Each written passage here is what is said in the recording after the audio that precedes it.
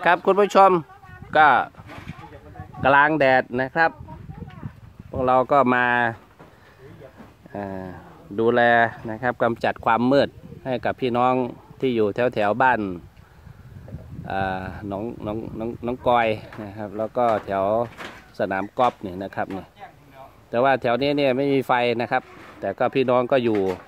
อยู่ได้นะฮะอยู่ได้หม้อน้ำพังแล้วครับนี่ ใช้ใช้มาจนพัง ยศยศแม่แม่เลยครับเนี่ยโอ้ย ได้เสียตังค์นะฮะได้เสียตังค์เปลี่ยนแล้วเนี่ยนะครับ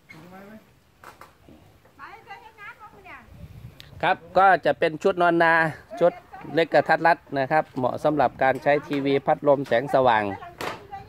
นะครับ อันนี้คุณแม่แหล่นะครับ แกกำลังประสานงานกับผู้สนับสนุน ครับเนี่ยนะฮะก็เดี๋ยวรอติดตั้งเสร็จ เป็นไงบ้างพ่อหน้าดีดีครับดีบริษัทอะโอเคฝั่งนู้นก็กำลังติดตั้งครับ ก็สว่างสวัยยามค่ำคืน